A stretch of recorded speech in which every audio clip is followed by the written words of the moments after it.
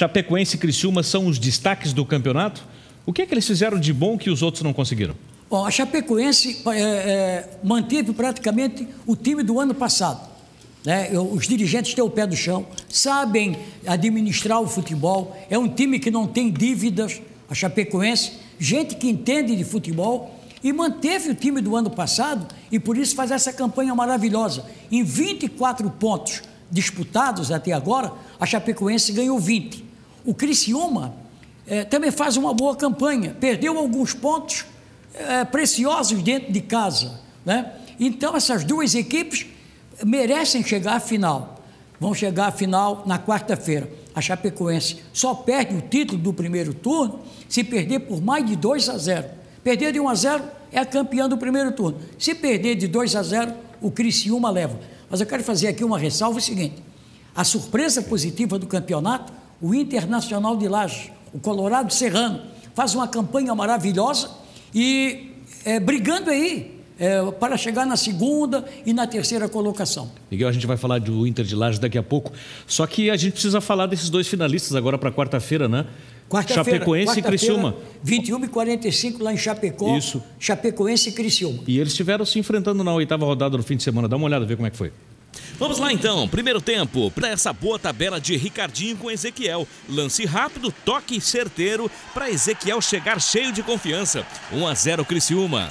Partindo para a segunda etapa, logo aos 10 minutos, Marlon avança com rapidez pela esquerda. Vai no fundo e cruza bonito para Roger Guedes matar Alex ainda no ar. 2 a 0 Tigre. O Metropolitano ainda conseguiu se atrapalhar na saída desse lance após um cruzamento lá pela direita. A bola sobrou para ele. Ezequiel, inspirado demais, faz esse golaço. A bola ainda desviou, deslocando o Alex, que estava adiantado. Não teve jeito não, o Tigre fez três no metrô e agora só precisa vencer por dois gols de diferença para ficar com uma vaga na final. Já a líder chapecoense encarou um Jack bem equilibrado. O Joinville conseguia criar as oportunidades, mas não convertia em gols. O Jack ainda teve a proeza, minha gente, de colocar três bolas na trave. Primeiro com William Pop pela esquerda, na entrada da área. Olha isso, bateu lá no travessão. O William Paulista estava na cara do gol e quase marcou. Agora é a vez de William Paulista. Ele escolhe o canto, levou a vantagem na disputa, deu o toque e a bola vai na trave. E olha essa então, 29 do segundo tempo, de novo William Pop. Ele cobra a falta direto para o gol. Danilo espalmou e a bola acabou batendo no travessão. Agora, para o Verdão, um empate, uma derrota por um gol ou vitória levam a Chape a ser a campeã do primeiro turno. Miguel, fora Chapecoense e Criciúma, mais algum ponto positivo, algum destaque positivo no estadual? E algum o negativo, negativo também, claro. É, o Internacional de Laje faz uma campanha surpreendente. Voltou o ano passado para a Série A do campeonato.